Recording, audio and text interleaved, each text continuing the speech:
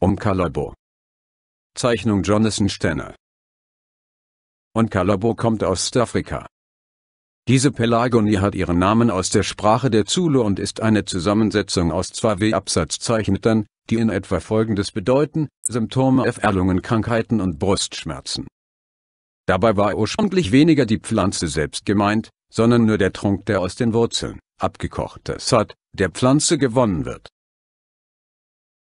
Der Engländer Charles Henry Stevens machte um 1900 die Pflanze in Europa bekannt, nachdem er mit einer Umkehrlaborkur in Stafrika seine Tuberkulose heilte. Da die Pflanze keinen Frost vergeht, wird sie von Liebhabern in T-Absatzzeichen kultiviert. In Stafrika ist die Pflanze in einigen Gegenden verbreitet, wird für medizinische Zwecke mittlerweile auch angebaut, um die Wildbestände zu schützen. Die Wurzeln werden nach Deutschland geliefert und in mehreren Schritten ein konzentrierter Wurzelauszug, der Spezialextrakt, hergestellt, der in Apotheken vertrieben wird. Hauptanwendungen Akute Bronchitis, Husten, Tuberkulose Heilwirkung Antibakteriell, antibiotisch, antiviral, Immunsystemskind, Schleimelabsatzzeichen sind Anwendungsbereiche.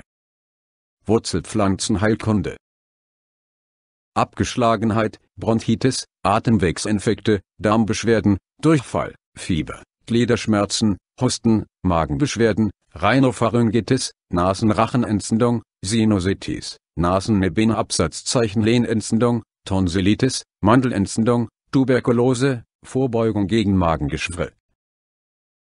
Wurzelrinde Home-Absatzzeichen Opathie. Anwendungsbereich leider nicht bekannt.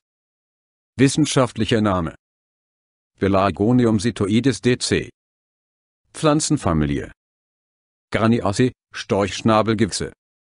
Englischer Name South African Granium. Volkstümlicher Name Calverbosi, Capelagoni, Kapland Belagoni, Rabassamin, Umkalabo. Verwendete Pflanzenteile Wurzeln Inhaltsstoffe Amine Aminosuren, Coumarine, Flavonoide, Gallusure-Derivate, Gerbstoffe, Strine. Sammelzeit. Jederzeit. Gegenanzeigen. Schwangere, Stillende, Nierenkranke, Leberkranke, bei Blutgerinnungsabsatzzeichen rangehen. Satt. Die geernigten Wurzeln werden ausgekocht. Weil der Satt alle Wirkstoffe hat, ist die Verwendung nicht zu empfehlen. Übelkeit, Brechreiz und andere Probleme sind mit der Einnahme verbunden.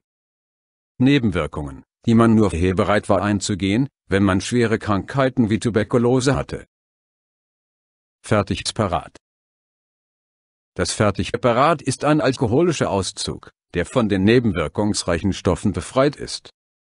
Harmlos im Vergleich zum kräftigen Satt afrikanischer Mediziner. Der Auszug ist laut Hersteller für Kinder ab einem Jahr geeignet, dem aber verschiedene Kritiker nicht zustimmen. Geschichtliches Umkalabo Umkalabo wurde seit vielen Jahrhunderten, wenn nicht seit Jahrtausenden von den Medizinern in Afrika genutzt. Haupteinsatzgebiet Krankheiten rund um Lunge und Hals. In Europa wurde die Pflanze durch den Engländer Charles Henry Stevens Anfang des 20. Jahrhunderts bekannt gemacht als er durch eine Umkehrlaborkur mit Hilfe eines Medizinmannes seine Tuberkulose heilte. Die Kur dauerte vier Monate. Er und einige andere versuchten das Mittel in England und im deutschsprachigen Raum zu vertreiben, hatten aber immer wieder jahrzehntige Probleme mit der rechtlichen Seite der Vermarktung. Heute wird in Deutschland aus den in Afrika angebauten Wurzeln ein Mittel hergestellt, das in den Apotheken rezeptfrei verkauft wird. Die Kritik an Umkalabor ist immer noch nicht verstummt. Kritisiert werden mangelnde Studien zur Wirksamkeit bei der blichen niedrigen Dosis, Nebenwirkungen und die Gefahr, dass wichtige schulmedizinische Behandlungen, zum Beispiel Antibiotika, zurückgestellt werden. Pflanzenbeschreibung Die Kapelagonie wird 20-60 cm groß. Die Wurzeln sind dunkelbraun und knollig, die Blüten erscheinen zwischen Juli und September.